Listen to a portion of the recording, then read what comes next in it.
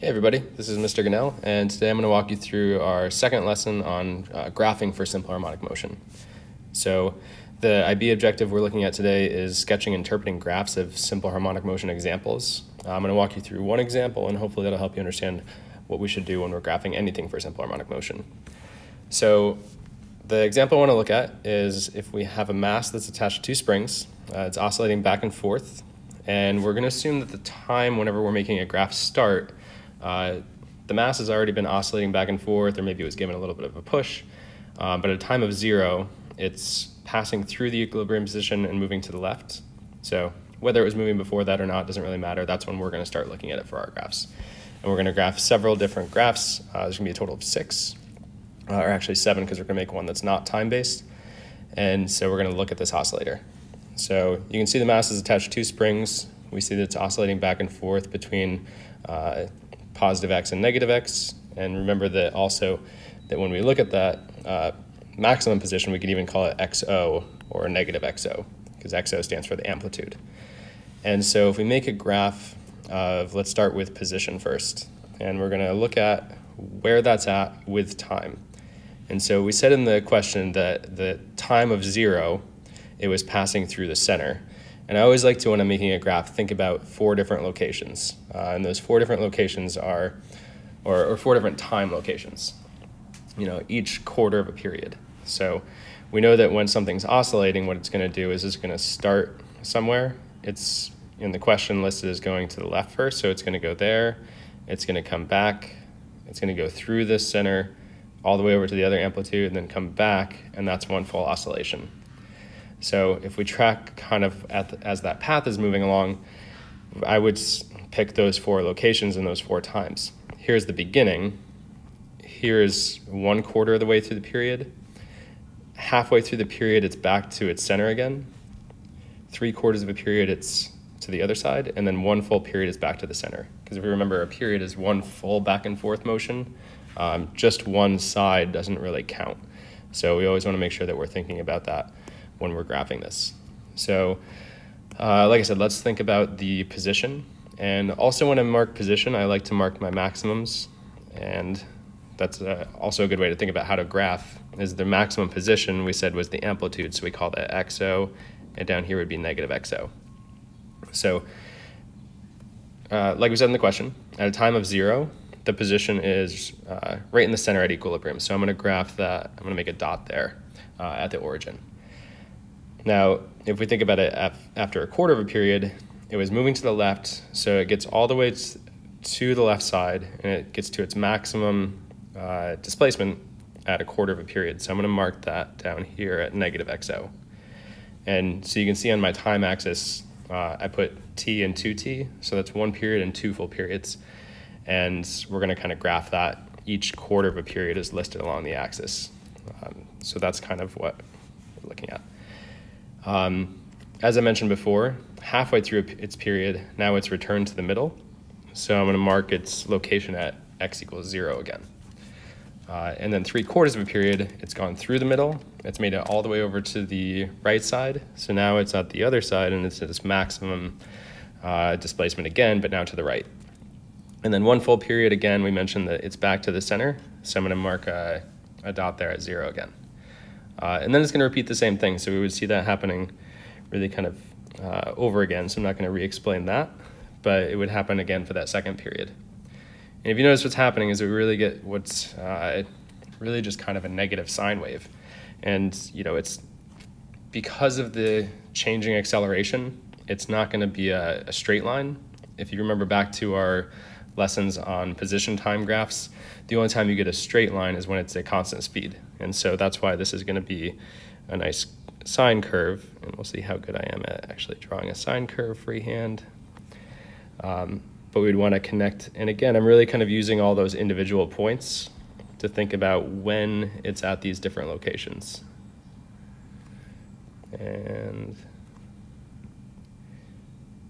there we go. So that's what our graph of position versus time would look like. Uh, if you think back to what we talked about yesterday, the period, remember, has to stay the same for simple harmonic oscillators. So the time it takes for one period is the same as two periods. And also the amplitude stays the same. It doesn't get any shorter as time goes on. because uh, we're assuming that there's no friction. So if you remember back to what we were learning with kinematics, uh, you know that the next graph we're going to make is a velocity time graph. And when we go from a position time graph to a velocity time graph, we need to think again about the slope of the graph, or at the IB would call it the gradient of the graph, telling us what the next graph would look like. Uh, if you're in calc, you would just think about this as a derivative. So I'm going to use the slope of the line of the position graph to help me figure out what should be on the velocity graph. So if I look at each individual spot, um, again, let's start at the beginning. So if I look here at the position graph, uh, I notice that it's got a pretty negative slope. Or if I draw on a tangent line to the graph there, I'm going to see that it's the most negative that that graph is going to be. And so what I can do is that I can say, all right, well, that's my most negative velocity. So down here on the velocity graph, I'm going to draw in um, negative Vmax to represent the maximum negative velocity it can have, and then Vmax, which is the highest velocity it could have, but in the positive direction. And so if we look at those individual points, again, at the first spot, it's the most negative, so I'll put my dot there. Then when we approach a quarter of a period, we notice that that line really flattens out and it's a tangent there. Uh, or the, the line that is a tangent flattens out, so that tells me that my velocity is zero at that point. And then I can keep going along this graph and looking at all these locations. Uh, if at a half of a period, we get a nice line there that's pretty steep, but now in the positive direction. So that's the highest uh, positive velocity that I've gotten. And then again, now at three quarters of a period, we've reached a, a flat line again. So we know our velocity is zero. And then a period, we're back down to a negative velocity again. So I'm gonna go zero, and negative again. And one thing we can check too is if we look at these two points, we should see that we return to the same thing that we were doing before to get through one full period or one full cycle. Uh, and again, the same thing is going to happen for the next time around. And I'm just going to draw those again. I'm not going to re-explain that whole process. Uh, you can go back if you missed any part of that. And then again, we're going to uh, connect those. This time we have a negative cosine graph.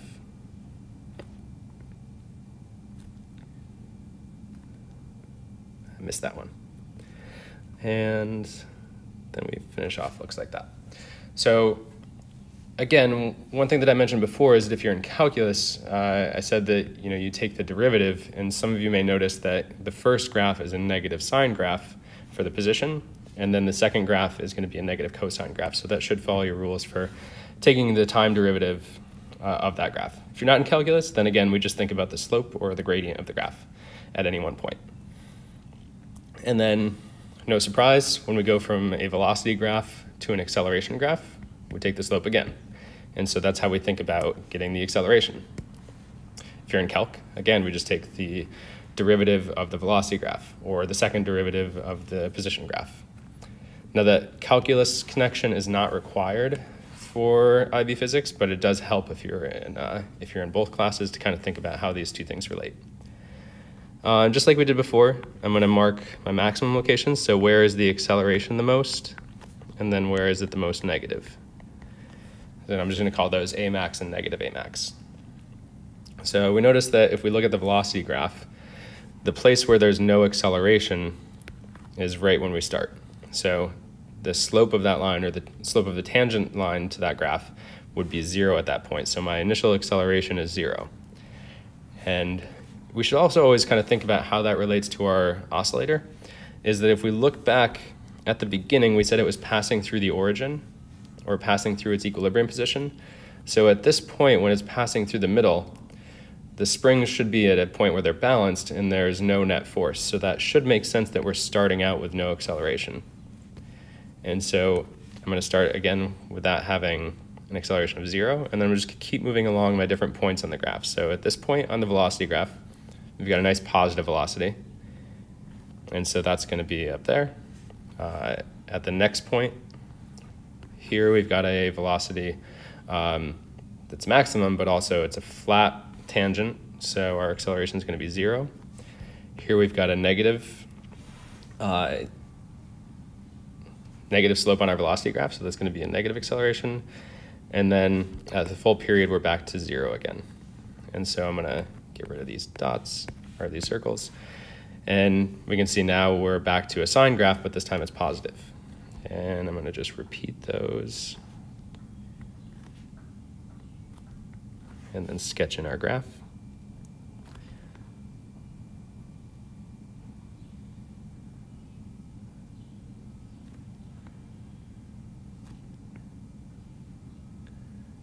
That was definitely not my best work.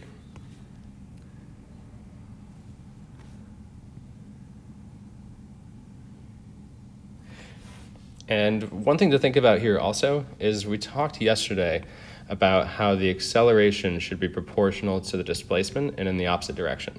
So if we look back to our uh, initial graph, now we got the acceleration graph by taking the, the slope of tangent lines to the velocity graph.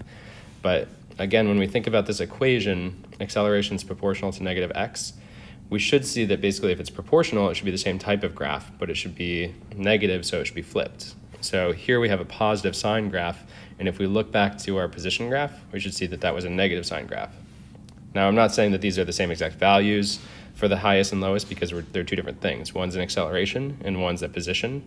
Um, but we should definitely always make sure we think about that connection that the acceleration is proportional to displacement. So if it's a sine graph, it's going to be a sine graph again, but that negative means it's going to be inverted. So uh, again, we had a negative sine graph for position, we have a positive sine graph for acceleration.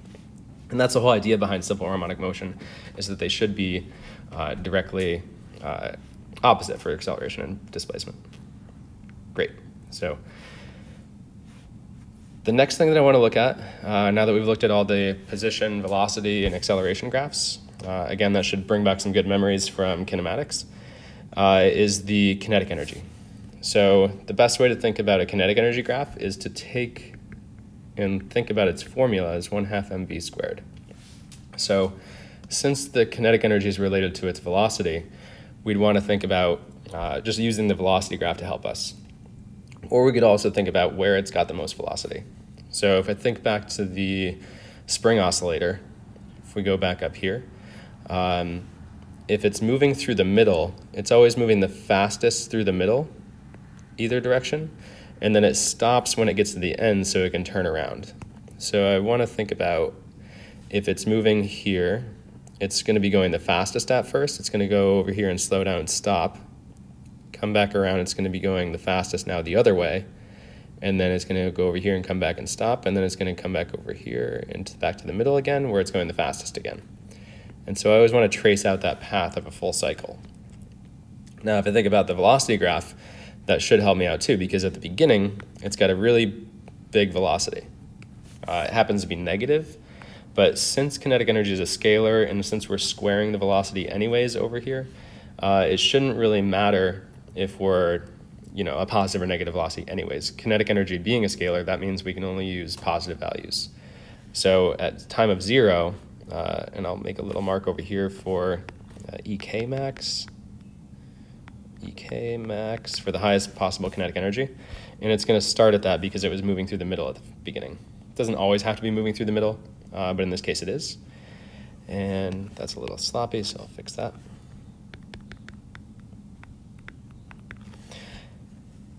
and then there's going to be a little bit of going back and forth here. I'll try to show both on the same page at the same time. So the next part we look at is that the velocity, uh, and I'm not looking at the slope anymore, I'm just seeing what the velocity is. So at this point, the velocity is zero. And so I'm going to make a mark for zero kinetic energy. And then here we have the same value of velocity. Uh, it just happens to be positive instead of negative. But again, since we're using v squared, it doesn't matter uh, we're going to end up with the same kinetic energy going through the oscillation one direction as we would the other. Uh, and again, because that's a scalar and because we're squaring the velocity. So that's just going to keep repeating. We just have a lot of kinetic energy and no kinetic energy, and a lot, and then none, and then a lot, and then none, and then a lot. So that's just going to make our graph look kind of like this. I'm probably making my dots a little bit too big because those don't really need to be on the final graph. Um, but when I actually connect those, it's going to look kind of like a, a sine or cosine, but it's just, it's all in the positive direction. Oops, I'm erasing when I should be drawing.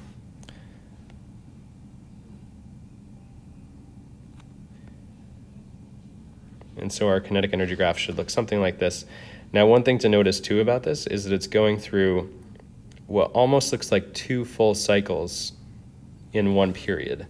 So whereas our other graphs, when we looked at this section, that might have looked like a period for our other graphs, but it's really just the kinetic energy becoming a, a maximum twice. So don't let that confuse you that we're still one full period, even though the kinetic energy looks like it's going through two cycles.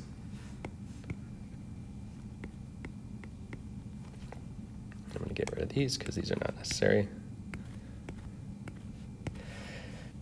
Uh, and then, of course, the next graph, if we look at that one, uh, is going to be the potential energy. Same thing as before, the potential energy is a, uh, a scalar, so we're not going to get any negative values. And so let's keep the theme going of different colors here. So I've got now a potential energy maximum. There's a couple ways you can think about this. Uh, one of them is that we can think about the kinetic energy graph. And we know that for something that's not affected by any outside or unbalanced forces, um, the total energy of that system is going to stay the same. So when we have a maximum kinetic energy, there really shouldn't be any potential energy. Uh, we can also think about the way that we calculate potential energy for a spring, which is EP equals 1 half kx squared. And so since we're dealing in this case with the position, it's going to follow a very similar rule to what we just did with the kinetic energy graph, but we're going to look this time, instead of the velocity graph, we're going to look at the position graph. And so it followed those same rules as we did before, where we have in the middle, the springs we assume are at equilibrium, so there's no potential energy. Uh, and then here we have a lot of potential because there's a, a, large displacement. Same thing with the velocity graph, even though it's negative, it's squared, so that's not gonna matter. And then we have a zero, and then we have a lot, and then we have a zero again, and then we have a lot, and then zero. And it's just gonna keep going through that same uh, repeating cycle. So now that we're down here again at the beginning, you might have to go back to that video if you missed that. Um, it's not stretched at the beginning. Uh, so I'm gonna put it at zero and then it's got a lot, nothing. And we're just gonna draw those points that we talked about before. You might want to, in your notes, look back at your graphs since the video is a little hard to look at both at the same time. And we're gonna be going through that same repeating cycle. Now, if you look at as I'm drawing this, the graph right above, it should be a direct mirror of what's happening with your kinetic energy. And again, that's because our total energy should always stay the same. So for example, if we pick, you know, this point here, we've got no kinetic, but we've got a lot of potential. That's at one and three quarters of a period. So always make sure that that is something you're thinking about when you're going through these. Uh, and notice that there are multiple ways of uh, figuring out what that graph should look like. Now, the last one, uh, again, I've kind of already mentioned this, is that the total energy is really a combination of our kinetic and our potential.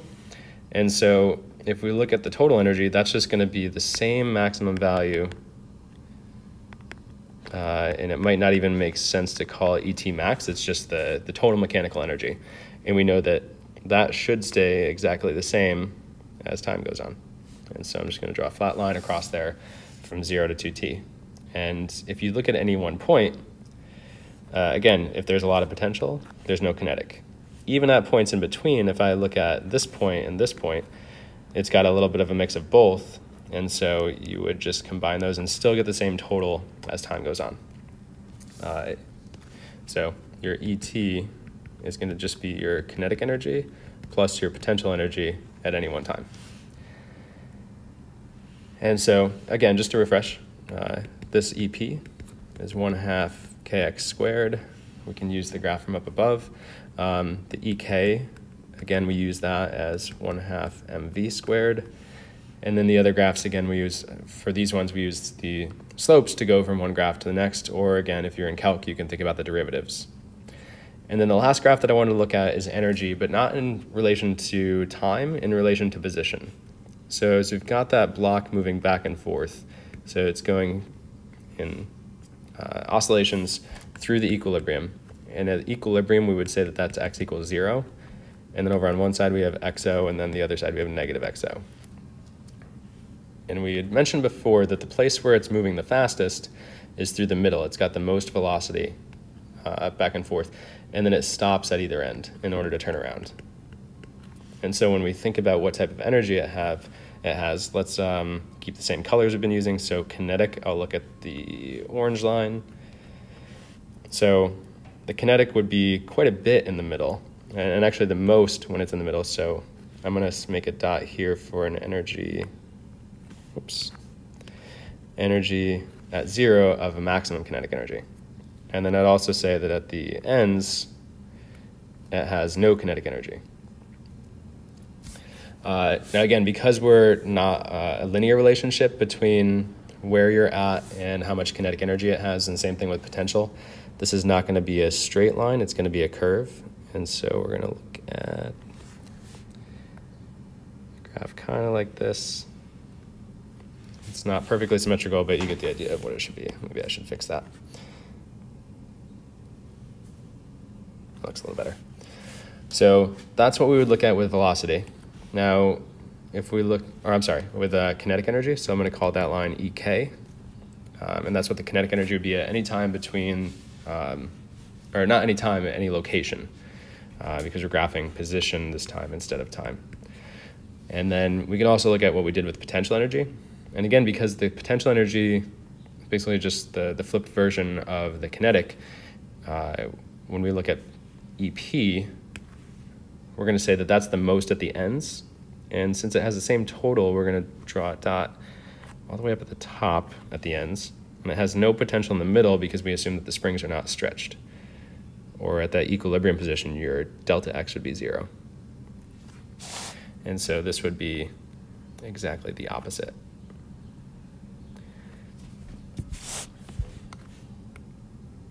I'm going to get rid of this because I don't think that's very helpful. And again, we would call this EP. And then if we wanted to add that line for total energy, we know that that should be the same everywhere. So I could draw a third line on there right across the top showing that the total energy does not change no matter where it's at. And so you might call that ET. Notice I'm not drawing arrows or I'm not extending the lines past those points because really the, the furthest it can go is negative XO or positive XO. And that is really everything. And I hope that helps you understand some of the graphing that we do uh, with energy for something that's oscillating in a simple harmonic motion.